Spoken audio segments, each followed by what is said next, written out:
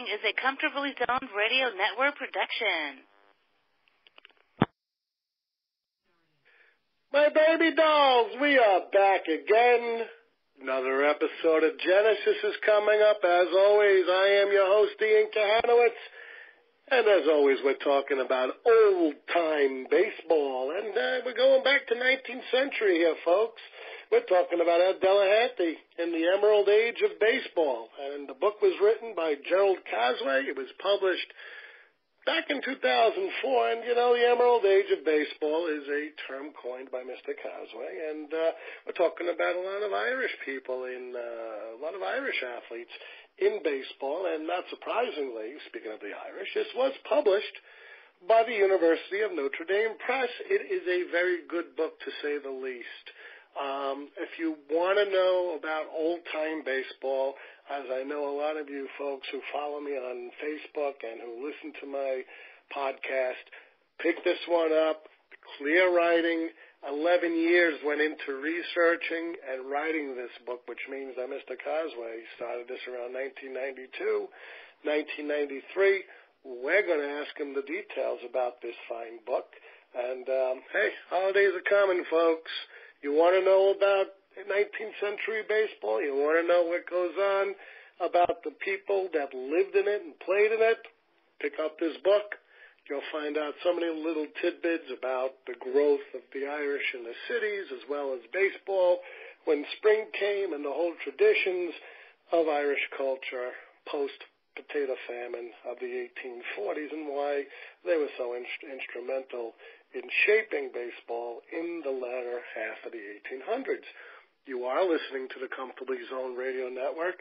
I am honored to be on the network now, going on, oh, about a year now since I had my surgery and I dropped dead and they brought me back to life. But previously, my show was on the Heavy Hitter Network. He retired, and of course, there was a nine month hiatus. And I'm just happy to be back on the air three to five times a week and talking about these wonderful books. Uh, we have a lot of great shows, and one of the places we go in the book is Philadelphia. And of course, we have Bill Kashadis, who does uh, Philadelphia, past, present, future, and we talk about the old-time baseball teams. We're not only talking Phillies, we're talking Quakers, we're talking Negro League with the Stars, we're talking about the Philadelphia Athletics. A lot of history in Philadelphia, a lot of 1800 history we're going to find out here uh, in Ed Delahanty. Also, we got Nancy Finley, the Oakland A's. We got Golenbock's University with renowned author Peter Golenbock. Hey, we got Vintage Sports with Hal Bock. We got Mark Littell and Mark Weiss and Mark and Mark in the midday. Got a lot of shows going on. We got David Finoli and Alan Blumpkin doing the Pittsburgh thing. And I'll tell you, I love Alan Blumpkin. I am so honored to be on his show with David Nemec, who is a renowned author in himself. And for most of you who don't know, he wrote the autobiography, well, not autobiography, but the biography of Dr. Alger Hiss, was, um, he was accused of communism in the 1950s. He was actually the physician of the family, and he wrote a lot of trivia books by which when I was in public school, they were all announced, and um, in the uh, those uh, newspapers they used to give out for book clubs, and I used to order a whole lot of them, along with Hal Bock's books on 1977, 1978 stars. I'm dating myself 40 years. What can I tell you? I'm old. But anyway, let me tell you about Ed Delahanty, okay? They called him Big Ed. And you know what the problem is? He played in the 1800s. And like a lot of the people that played in the 1800s, it's, it's, it's a sad history because they're forgotten once the 1900s roll around, the 20th century rolls around.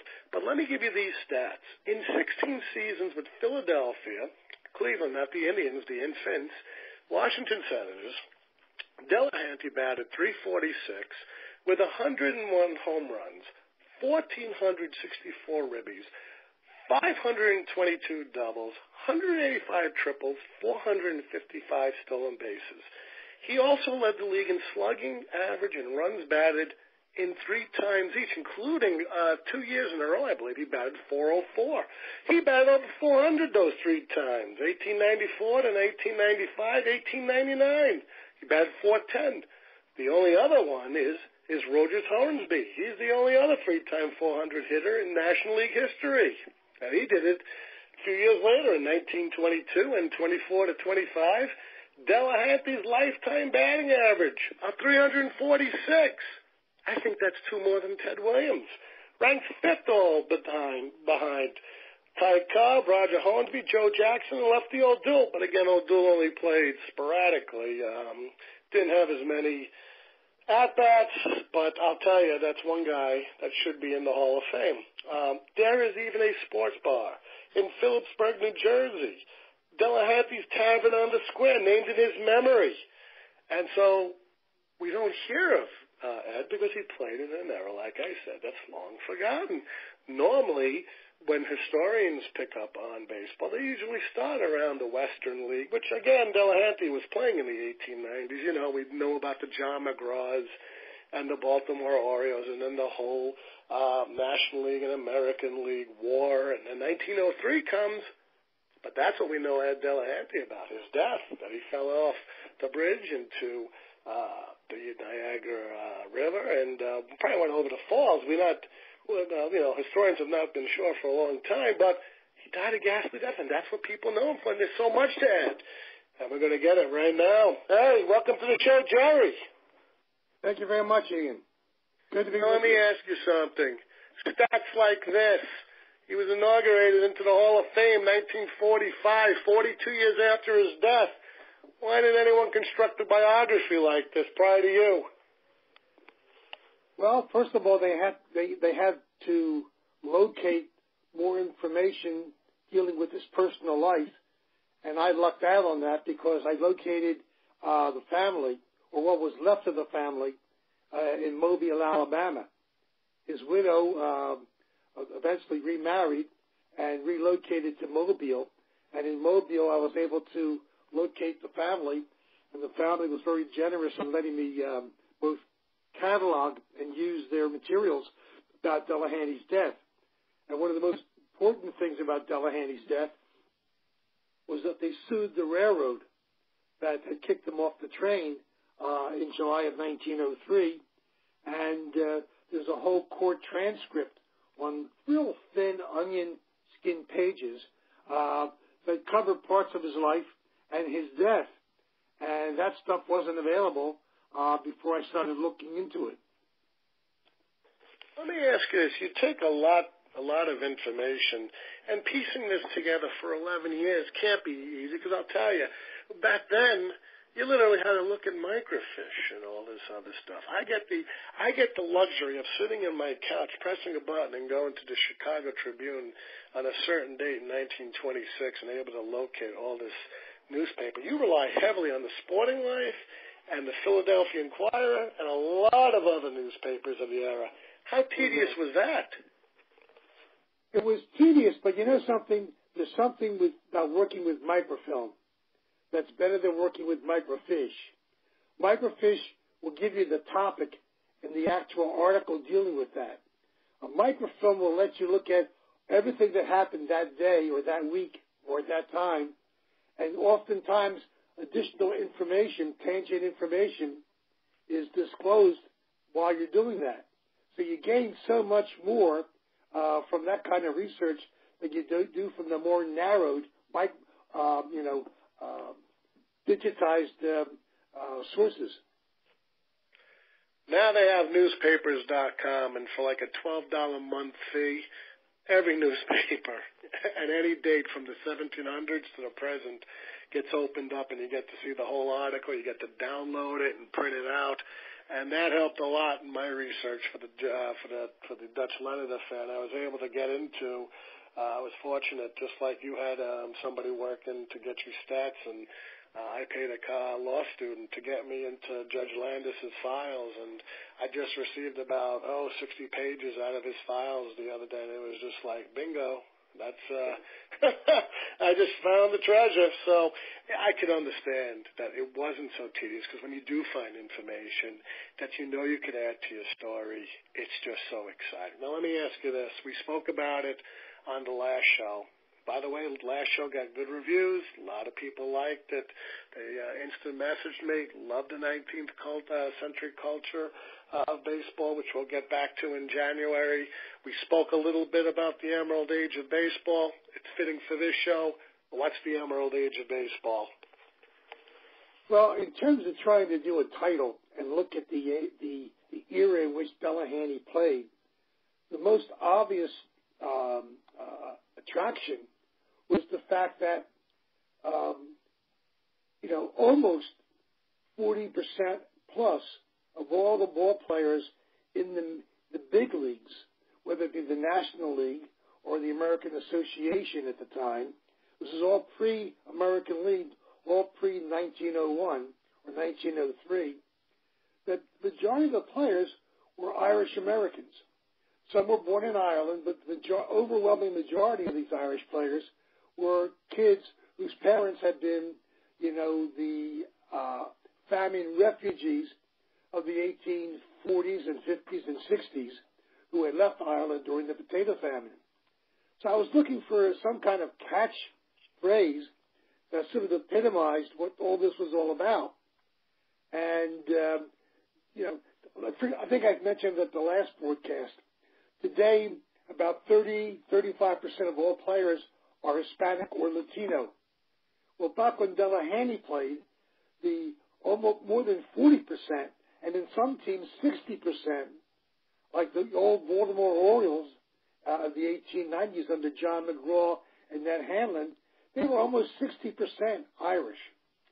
So how do you recognize that era? Because the era that Delahanty played in was an era dominated by an ethnic group which was the which were Irish American kids, and they gave expression and, and character again to the game. So the culture of baseball, in which it circulated in the 1890s and 1880s and beginning of the 20th century, was was Irish. So I, I, I couldn't call it the Celtic age or the Gaelic age or the Catholic age. So I came up with the idea of calling it, gee, the Emerald Age. And um, I, what I should have done is should have had the, the phrase copyrighted because right now it's being used by a good number of people, uh, which is fine, uh, to describe the era in, in which Delahanty and many, uh, most of his, all of his peers played in. So that's how I came up with that title. It was one of those creative moments that come and go. Yeah, you know something. When I always think of the Irish, in the 1840s and 50s and 60s. I'm thinking about Boston. I'm thinking about New York. I'm not thinking about Cleveland. What's going on with Irish immigrants living in Cleveland? They followed the Erie Canal, and in the post-Civil War era, they followed industry and urban development. And Cleveland's on Cleveland's on Lake Erie, you know, and so all of these towns again had work for the Irish a lot of Irish immigrants, when they came over, uh, particularly they came over during the war, Civil War, they didn't want to come into the country. If they had a chance to go to Canada, they lived in Canada. And after the war, they began to move from Canada down to where the jobs were along the Erie Canal and the Great Lake region. And that's how that, that, area, that area and that community began to grow and develop. It's amazing because they had five sons, I believe. All five of them played Major League Baseball. What's going on here? Well, what what I, I believe I, I was able to deduce from my research and my exposure, both as an Irish historian and as a baseball historian. Remember, my original area for about 25 years was 16th and 17th century Irish history.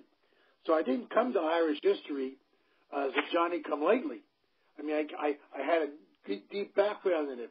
What I had to do was move it up into the more contemporary era of the 19th century. And uh, by doing that, I began to look at the, you know, the trauma of immigration uh, uh, and, and of the, uh, the great potato famine. And all of this created, you know, a, a push force that pushed people out of Ireland looking for opportunities. And to them, America was a, a country paved with gold. You know, The streets were paved with gold. They saw great opportunities here. But when they came over, you know, it wasn't that way. First of all, the country was industrializing, and most of these Irish Catholic immigrants were again rural agricultural workers. A lot of them didn't speak English. A lot of them spoke Gaelic. So the problem is they came into a country that where they were not as well suited as maybe other immigrants. And at the same time, they were Catholic. And the country was going through an anti-foreigner, anti-Catholic movement at the time. And so they conformed to every prejudice that existed in uh, pre and post Civil War America. So one of the things they found an outlet for themselves was again by playing a game that they had some background in. In Ireland itself, both hurling, playing with a hurley stick like a, like a field hockey game, sort of like field hockey, but it's not field hockey, or handball. I, Ireland was a major handball um, center, and you can even go today and see remnants along some of the rural roads where they dug outside of a road, put boards in there, and at, at night in the, in the summer, when it was again these long evenings, uh, they'd go out and play handball. Uh, reputedly, uh, Ed Delahanty's father was uh, an unsurpassed champion at handball, and all the kids played handball to stay in shape, particularly Ed Delahanty. And you know, I remember handball. A lot of people in the suburban areas, Brooklyn, really, yeah, they don't really know that. But in New York City, they have these huge handball tournaments with the rubber ball, the uh, blue rubber ball. My hand used to fall off. I had to switch to playing paddle ball. That's a and they would do it in a hundred degree heat where the the um it got so bad that the Brighton Beach in Brooklyn, they used to have the handball tournament same day as the uh, Nathan's hot dog um, eating contest. They had the EMT uh, wagons waiting for someone that just drops. They could throw them in and take them to Coney Island Hospital. That's how that's how um, rabid uh, the sport of handball was. To just give an analogy of how important it was.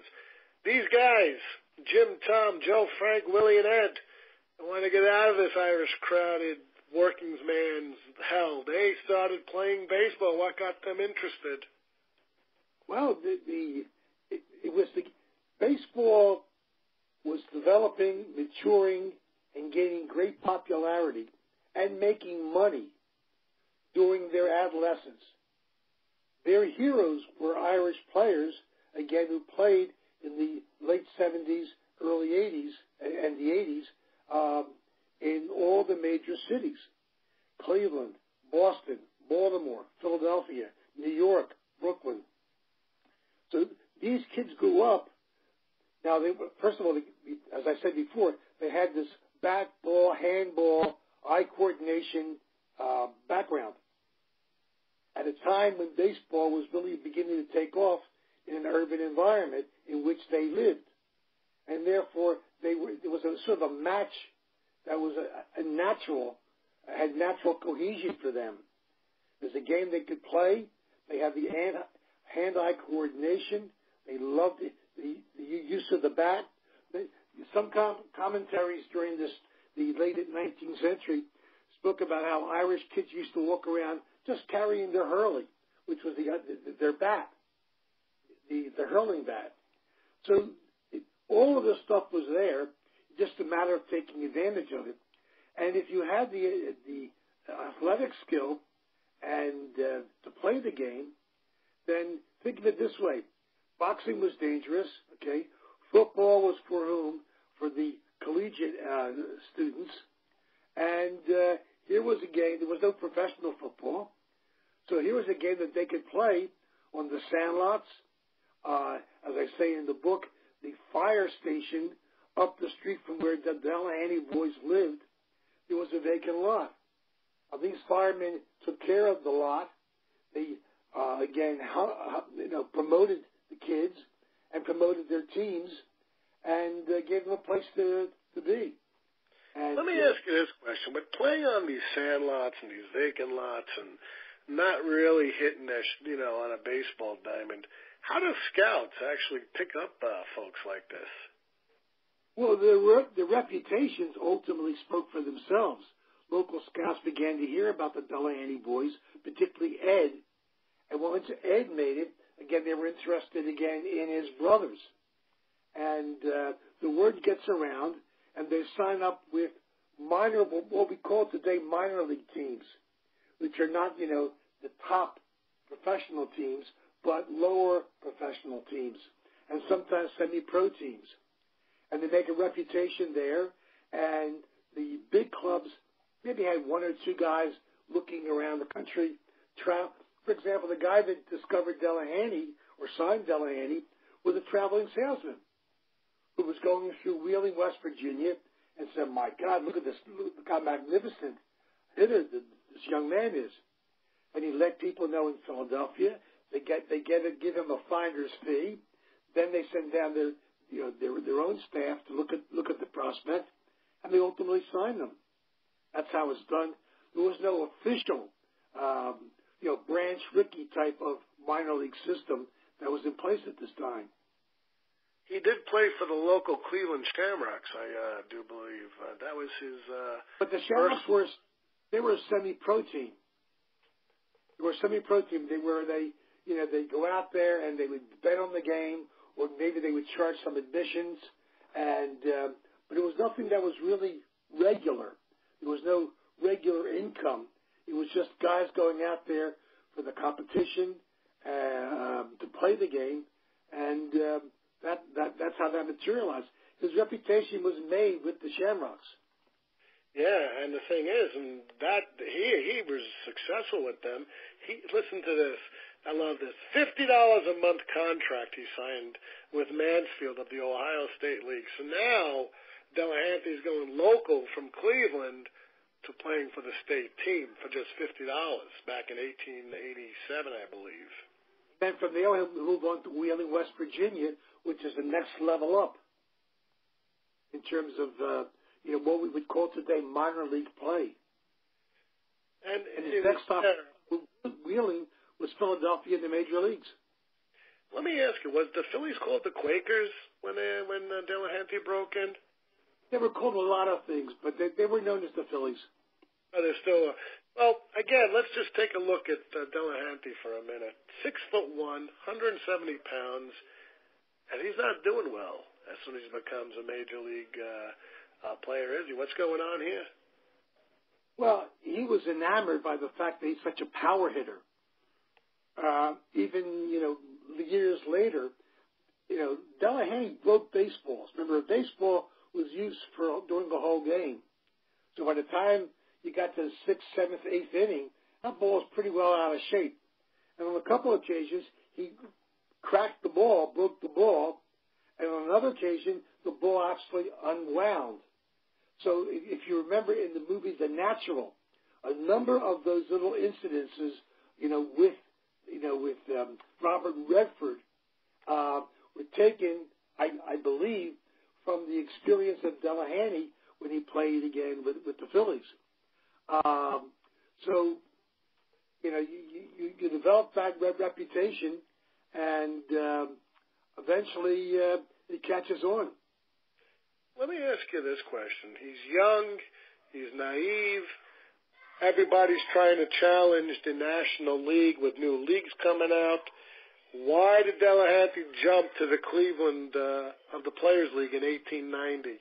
Wasn't a proven league, had a lot of potential, but money, don't money, money, and money.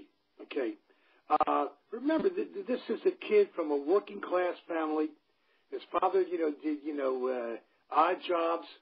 Uh, there's a large family. He wanted to show his mother that he could make money, and here was an opportunity to make money and to play at home. And the money was guaranteed. And so, with the Players League of 1890, uh, what you find is a lot of ball players ultimately decide to, you know, take advantage of that. Up to this point, ball players had very little le- very little leverage. But the threat of creating a union league, a players league, again gave them an awful lot of leverage. It would ultimately um, uh, uh, bankrupt the people who were trying to uh, conduct business in the in this alternate uh, league and organization. But the more important thing was that, you know, here's a young boy, young man in his early 20s, okay, from a working class background, okay, who was given the opportunity to make in a season what U.S. senators were, were making. And his season was only what? Five months at the most. Uh, so it's it's very very gratifying and very very alluring, and uh, his reputation was made in 1890 when he he actually signed three a couple of couple of contracts, and he'll do the same thing when the American League goes. When the American League erupts in 1901, and he begins to see some of the a lot of his teammates, particularly Napoleon Lajoie, you know, sign huge contracts um, he was attracted to it. He knew he had to make his money. He had, didn't have too much more time to spend at the top level. And by 1903, in 1903, he, he literally has signed three different contracts with three different teams. And um, uh, he eventually jumps from the Phillies, in the National League, to the Washington Nationals in the American League and uh, that's the beginning of the end for him because of other conditions. Let me ask you this: the the, the whole Players League fails, and there's a lot of animosity for those who jump to the new league and want retribution and come back. Why did they take him back, Philadelphia? Because they were good ball players. They recognized talent. They recognized talent. If you know Barry Bonds had jumped leagues you sign, say, with the Mexican League or the Canadian League or whatever league you want to make up, and the league folds, and there he is, going to tell me that no team is going to go after Barry Bonds? Yeah, you make a good point. So he comes back to Philadelphia. I love this. Look at the team that Philadelphia had from 1892 to around 1901. They had Delahanty. They had Billy Hamilton, Sam Thompson, Nap Lajoie, and Elmer Flick. Unbelievable! And during right. that span, good. It almost got better than that. They almost signed Honus Wagner. Huh. Unbelievable. Team that, that and a scout out to look at Honus Wagner, uh, who was willing to sign with them, and um, they thought that he was too big too large to play the infield. And there was no spot for him in the outfield. So they decided against signing him. Now, could you imagine that ball club? Unbelievable. Now, let me ask you, how many did the Phillies win um, in the championships uh, those years? None.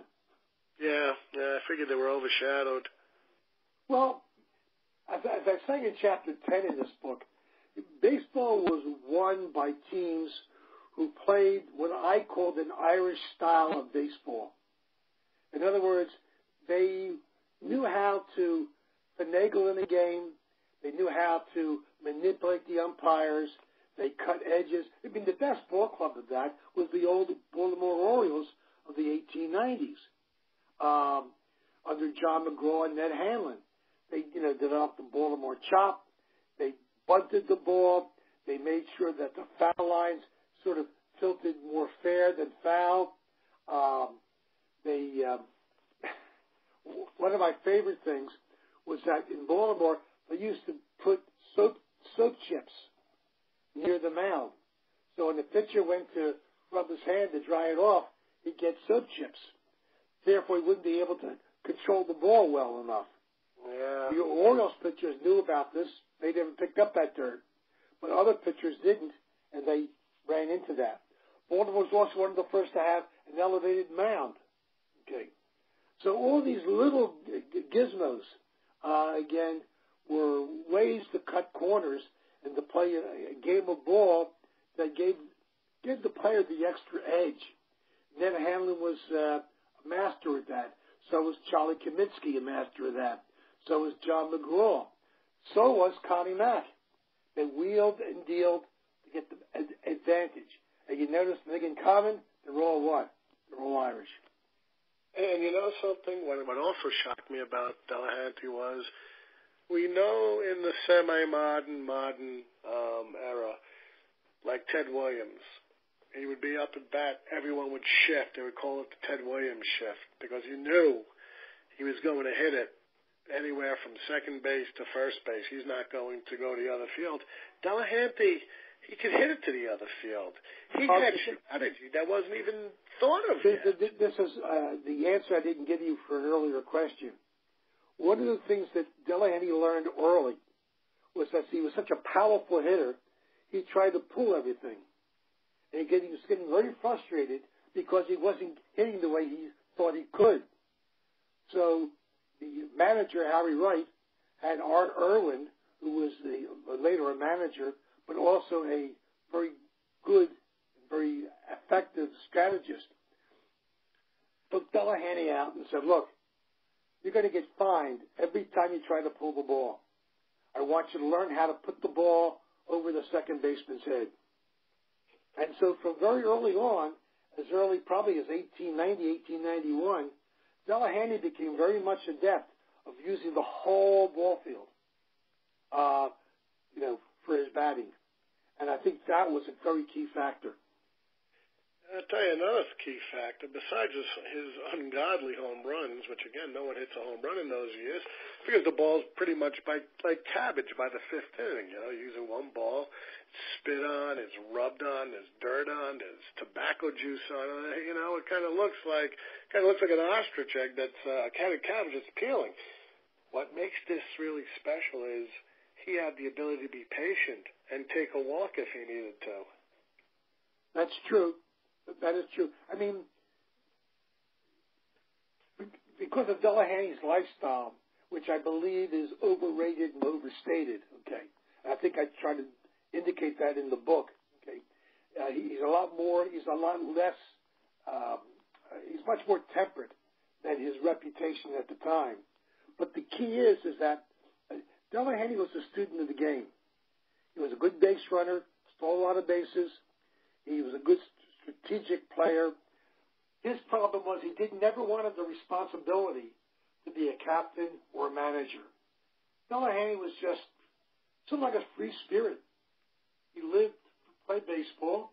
He lived for batting and hitting and uh, for winning ball games. But they didn't play the style of ball despite Sam Thompson and Napoleon Lajoie and Elmer Flick and Ed Delahanty. They didn't play the kind of ball that was winning. Small, what, what we call today small ball, was effective. The Baltimore Bean Eaters, the Baltimore Orioles, the Boston, um, um, the the Brooklyn Bridegrooms, the uh, Cleveland Spiders, they all played small ball. They, they play for the run, move the runners across, manipulate a, a game where only one umpire officiated, and, inti- and intimidate that umpire, a la John McGraw. That was the way they played. And as, and as a result, again, uh, Philadelphia never won. They would always, uh, they would awestruck, you know, their opponents with their power and their natural ability. But they never had the wherewithal, again, to play a smart game, the kind of game that the Orioles ultimately would popularize and um, and, and prove successful. And getting back to what you were saying with getting, you know, get it over the infielders' heads, when outfielders, because they looked at Delahanty and they said, wow, man, this guy is powerful. They're moving back. And so when they moved back, Delahanty it opened up the whole uh, shallow outfield. Yeah. Yeah. And so his ability to adjust his hitting approach to confound the defense made him in in the estimation of Cincinnati Reds pitcher Red Ehret, the hardest man in the league for pitchers to puzzle. And longtime catcher Jack O'Connor, he concurred saying if Dell had a weakness at the bat, he'd never discovered it. Now, if you think that's impressive, tell me about his fielding. Well, he was a horrible infielder. he, well, he wanted to play shortstop or second base and he was just too big. Um, uh, and he had a very, very strong arm, and a very erratic arm in the infield. And when Harry Wright decided to put him in the outfield, they found his position because he had the speed, he had the powerful arm, and he covered a lot of ground. Uh, he was considered to be, uh, at the time, uh, the best left fielder in baseball, although he played a very good center field when Billy Hamilton wasn't in center field. Now, let me ask you this about his personal life. He got married young, but he got divorced also. Uh, no, never got divorced. Never got yeah, divorced. Yeah, I mean, what kind of, you know, personality did Big Ed have? Well, he married very young. Um, she was really underage, and uh, she was really a neighborhood groupie who uh, attracted his attention, and they married. Um, well, they courted and, and then they married. But the key with her is that she was very immature. She really uh, wanted to enjoy the, the lifestyle of being married to the great Delahanty. And remember, he made a lot of money in those days. And these guys lived well, well beyond their means. What's amazing is that Delahanty never had an off-season job. He lived, his occupation and livelihood was being a Delahanty. Period. And this was, uh, this was the year before popular commercials. Uh, there are, are a few advertisements in which he and Napoleon Lajoie capitalized. But for a good-looking guy like him, you know, he was just, you know, coming to a bar and buy him drinks, go into a restaurant, pick up the bill, pick up the tab. She loved that lifestyle, and uh, she was never uh, strong enough to handle his personality, never strong enough to handle all of his weaknesses, which was that he would try to appease and please everyone.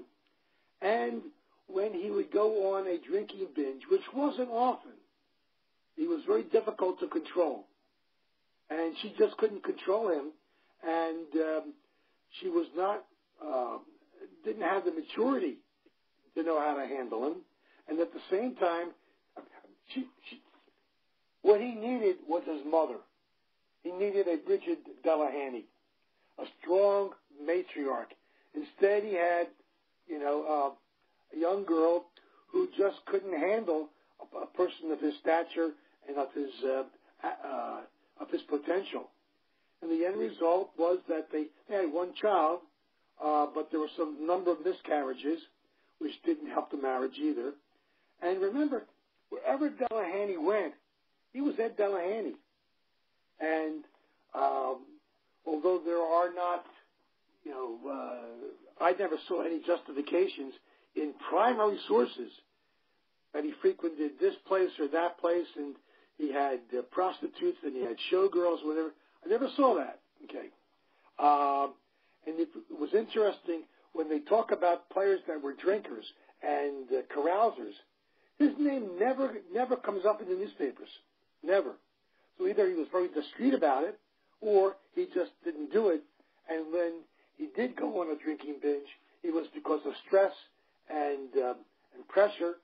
And when he, that happened, he couldn't handle it. Couldn't handle it, and she couldn't handle him. What he needed was Bridget Delahanty. He needed his mother. And you know, and you know, with all his success, and believe me, you know, all those times he hit 400, and uh, you know, he's at Delahanty in the off season. He stays in shape, doesn't need a second job. By the end of 1902, you know, his wife Norine was ill, and he just squandered the whole the whole fortune, gambling, drinking, mounting debts. What's going on with Delahanty in his uh, in his final years here? Well, you know, first of all, I thought that making that much money, particularly there were three offers on the table for him. John McGraw's Giants, the Phillies, and the Nationals. And he was willing to take money from anybody. He, he knew that he only had a couple more years left in baseball, and he wanted to maximize it. He was playing on the fact that he was Ed Delahanty. And all these guys had very, very um, uh, uh, affluent and uh, permissive lifestyles. Now, one of the things I got from the family was Delahanty's horse racing betting book, where he kept tabs of things. Well, I mean, he, he bet a lot of money uh, in Washington at racetracks, or in New Orleans in the off season and their racetracks, and lost a lot of money. And the more money he lost, he thought that he could sort of double up on it and, and take baseball, you know, um, um, salaries that were promised to him and get advances on the, on those contracts. And uh, they got money by winning again at the horse races, which didn't occur. So by the, by 1903, he is financially in bad shape. His wife is really giving him all kinds of aggravation. Uh, they're having problems both financially and personally. And he knows his career is on the brink, and he can't get what he really wants, and that is to play for big, big money in New York under his crony, John McGraw. And the end result is the pressure gets too much. And how does he respond to pressure? He drinks. He drinks. And as he began to drink, his play began to um, suffer. And the end result was that um, it ultimately broke him down uh, in, in, uh, in uh, Detroit. His mother has to come from Cleveland um, to sort of help him dry out. And um, he just can't handle stuff. And he sees where other ball players are getting toleration for signing multiple contracts, and he's not given the benefit of the doubt, which even you know creates all kinds of additional aggravation and anxiety for him, which creates more drinking. And what he was what he was doing when he died, what he was he was taking the train from Detroit on his own. Okay, took his spikes, his baseball glove. He was traveling to New York. He was going from Detroit to uh, Buffalo and Buffalo to New York to meet up with whom? John McGraw and play for the Giants, uh, despite what the league said. And on that train, he began to drink. He was cast off the train. Um, he tried to walk across the, the, the, the bridge, the railroad bridge, which is still there, by the way. I have pictures of it in the book. And on that bridge, at night, without lights, he's confronted by an old night watchman there's a tussle on the bridge. He apparently trips on one of the rails, falls into the Niagara River, the fast running Niagara River, and very close to where he was at were all these huge rocks and boulders. Delahanty was an outstanding swimmer, outstanding swimmer, but you know, oh, but uh, um, being uh, uh, intoxicated falling in the water at night, hitting rocks. Was too much. And before you knew it, he disappeared. A week later, they find his body at the Maid of the Mist at the bottom or the foot of Niagara Falls. It's been mutilated. It's been uh, his, his clothes have been washed off, and there was the great Delahanty. An amazing story. You know, the um, the the uh, bridge uh, watchman still, you know, in his testimony, um, a lot of people blame them for killing Delahanty. They maybe pushed him, but he said either Delahanty fled and jumped off the bridge, or he tripped and fell. Either way, it was in front right. of him, but it was too dark to he, see. He didn't jump. He wasn't pushed. Remember, I had the court records. Okay. Right. And in the court records, what they what they all say was that trying to get away from the night watchman, he tripped on the track. There was no gate that was up. All that stuff was said for the sake of the trial and for the sake of, of negative publicity. He, he was intoxicated. It was dark. He tripped. He fell in, and that was it. That was it. There was no recovery from that. Again, it was pitch black. There were no real lights out there. The hit the rocks and the fast moving current and a couple of miles down the river was Niagara Falls. Yeah, I mean, and let's let's just go back a second.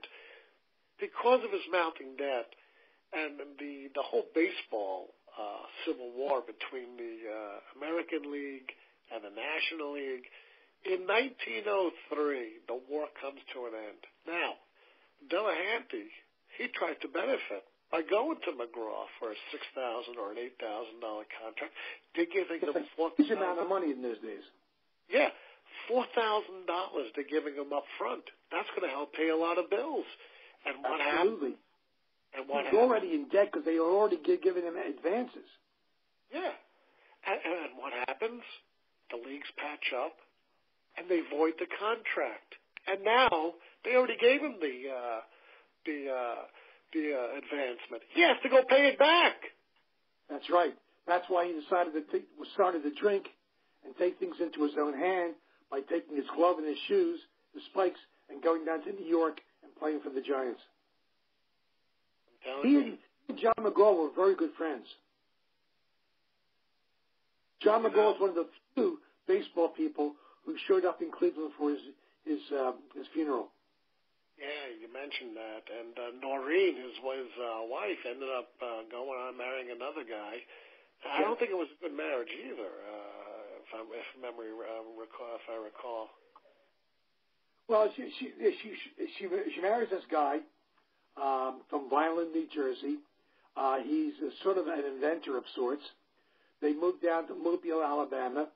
Uh, they have a very good life, but just just like her mother, uh, I mean, Nor- Norine will ultimately continue to be again this very shallow, very um, uh, uh, you know affluent seeking you know woman who just wants the better and finer things in life, and uh, there'll be some tensions again with her new husband because of this, and uh, her daughter uh, from Ed Delahanty is very much the same. Has the same type of attitude, same type of value system. And you get that from reading the, the personal correspondences and looking at the court records. If, you, if there's one thing you want people to remember about Big Ed, what would it be? He was probably as an accomplished uh, uh, ball player as, as there was in the 19th century, and he was a you know a magnificent hitter, a magnificent hitter, and um, you know people ask you know how would he have done today? Well, I, I, I think all ball players, if they were great in one era, would be great in the other era, but maybe in a, in a different context. But a guy like Delahanty would have been a great outfielder, and he would have also been a great hitter. Now, how many runs he would have gotten, whether he would hit 400, how he handled all this, you know, very um, detailed, fine pitching. You know, that you know that's something to to behold. But you know, you have you have to judge the ball player based on who he played with and the era in which he played, and then try to see whether how that translates into a different era. You know, I always like to say, you know, he's one of the five tool players, one of the few. I'll name two others that's probably in his likeness, Tris Speaker and Willie Mays.